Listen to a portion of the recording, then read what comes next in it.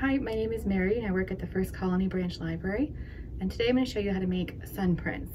Now there are a lot of different ways that you can make sun prints. Uh, one of the most common is uh, cyanotype which uses a chemical process that makes those distinctive blue and white prints.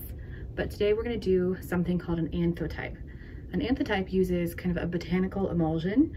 Um, so flower petals, leaves, fruits, vegetables, and you coat your paper with that emulsion and you put something on top of it and then you expose that to sunlight and it will make a print.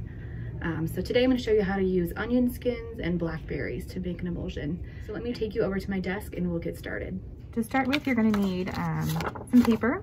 I like to use index cards, some glass. Uh, these are just pieces that I borrowed from one of my photo frames. A sponge brush or paintbrush, whatever you have handy, and whatever you want to put on top whatever type of image you want to make. So I'm going to use this plastic fern leaf that I have and I just cut a little dragon out of paper. So whatever you want to make, uh, pretty simple. The solution that I've made, um, the first one is this here. It's kind of an orange liquid and I made this with onion skins. And all you do is you take the outer layer of an onion and you boil it and the water turns orange and that's what you're gonna use. I'll insert a clip here when I made this so you can see what it looks like. Okay, and then the next one I have, it's with blackberries and all I did was mash them up, mash them up and push them through a strainer to get the seeds out. Um, that step is not necessary, but if you want a kind of smoother layer without the imperfections of seeds, um, I would put them through a fine mesh sieve like this. And then all you do is you coat your paper.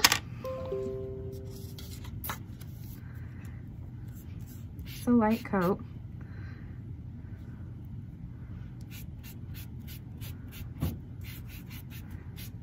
See, it doesn't really change the color very much.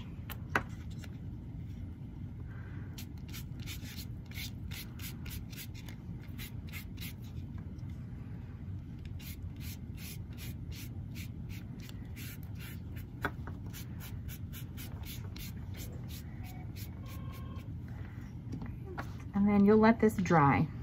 Let me move it out of the way. All right, we'll move on to the blackberries. This should be a little darker.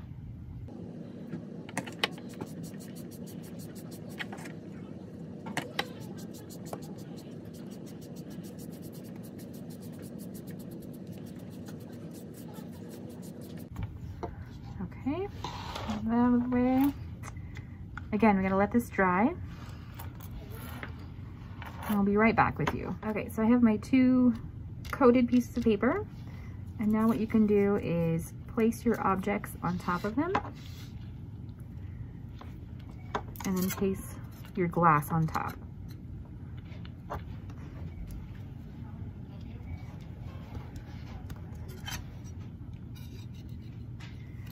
And now what you're gonna do is you're gonna take your two uh, sun prints and you're gonna place them in the sun for a couple of days.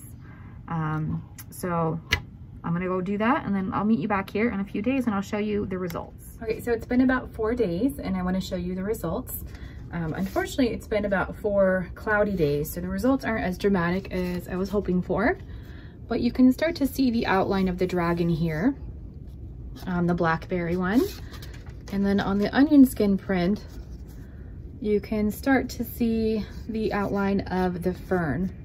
So I'm actually gonna put the dragon and the fern back on top of these and keep exposing them. With uh, anthotypes, uh, each emulsion kind of needs a different exposure time. So some of them will take a few days, some of them a few weeks might be better.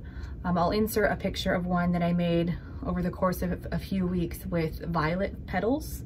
Um, that one's a little more dramatic than these. Kind of the fun thing with anthotypes. You can use a lot of things that you have around your house and start kind of learning how the photographic process works. Um, and one thing that I really appreciate about this art form is that it's not permanent. Um, as soon as you remove the object on top of these, your image is gonna start fading. Um, there's no kind of fixer solution like there is with normal photography. Um, of course, you can scan it or take a picture of it to, you know, make a permanent image. Um, but it's just a fun way to experiment with photography um, with easily accessible things you can get at home. So I hope you give this project a try and hope you really enjoy it. All right, thank you.